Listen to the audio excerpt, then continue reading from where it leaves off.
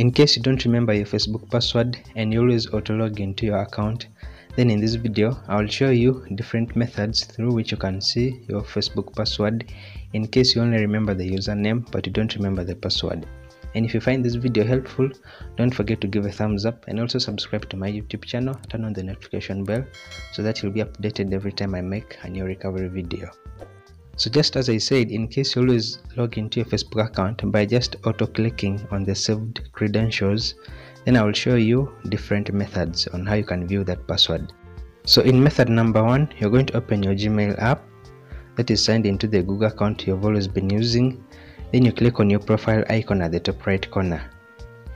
Then you select Google account or manage Google account. So from there you will see home, personal info, data and privacy, security. So you select security. So under security, you're going to scroll down to the very bottom. Then you will see password manager. So you, you click on that. Then you will be able to see all the social media accounts whose passwords you've saved. Then you click Facebook. And under that, you will always be able to see the Facebook username and the password. So the password, when you click on the eye icon, it will open up that password for you to be able to view. So that is the first method. Now for the second method, you're going to open your Chrome browser for those using Chrome as the default browser. Then you click on the three dots at the top right corner. So from there you select settings and then under settings you will see the option of password manager so you click on that. Then you scroll down and select facebook.com so under facebook.com you will be able to see your facebook username and then the password. So that is the second method. Now the other third method is for you to open up your phone settings. So under settings you scroll down and select users and accounts or just accounts based on your phone settings. Then you select google so under google you will see facebook.com you scroll down then you click on it. Then the same way you'll be able to see the username and then the password. So now in case the first two methods don't work for you then now the other third option is for you to reset your facebook password via the facebook app direct. So if you're already logged in now all you just need is a new phone number or new email then you can go ahead and reset your password. So in order to do that you're going to make sure that you're logged into your facebook account and then on the home page you're going to click on the three dash menu at the top right corner. So then from there you scroll down to settings and privacy.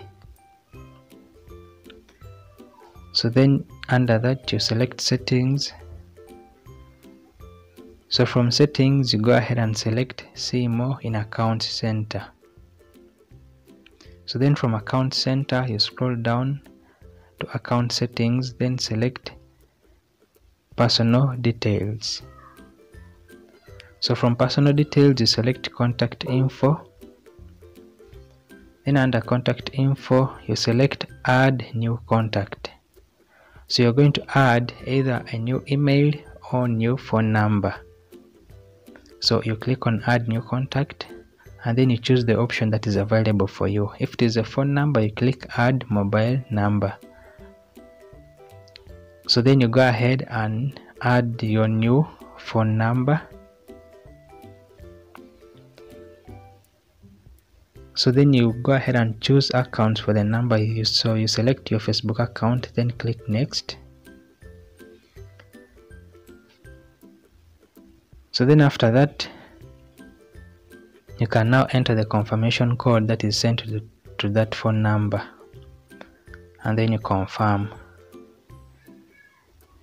So from there after adding the phone number then you go back to your account settings. So you go to password and security under account settings.